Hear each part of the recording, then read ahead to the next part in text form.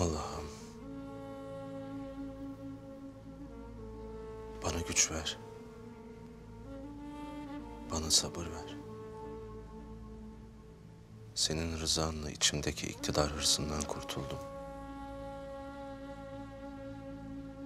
İnsanın ruhunu yiyen kibir putundan kurtuldum. Lakin babamın otağının yükü hala omuzlarımdadır. Bana o yükü taşıma gücü ver.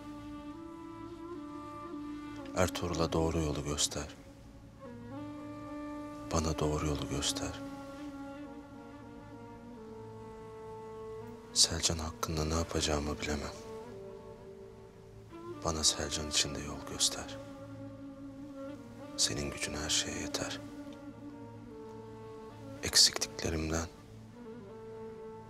zafiyetlerimden sana sığınırım.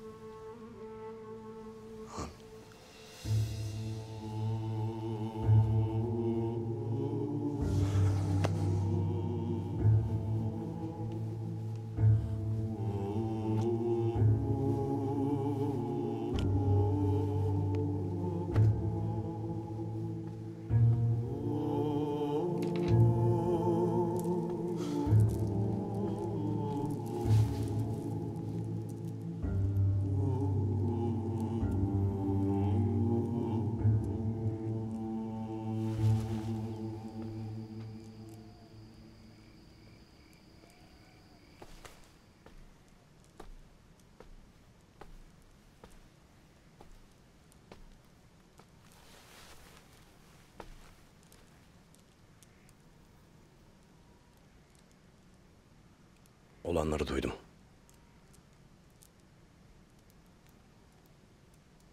İkimiz de obaların geleceğini sırtladık abi. Bundan kaçamayız. Ancak birbirimize destek olursak obalarımızı düzlüğe çıkarırız. Eyvallah. Lakin senin çadırında huzurlu olman gerek abi. Eğer huzurun yoksa atının eğrinin üstünde de huzur bulamazsın. Ve senin bir evlat sahibi olman gerektir abi. Tıpkı benim de bir an evvel bir avrat bulup evlenmem gerektiği gibi.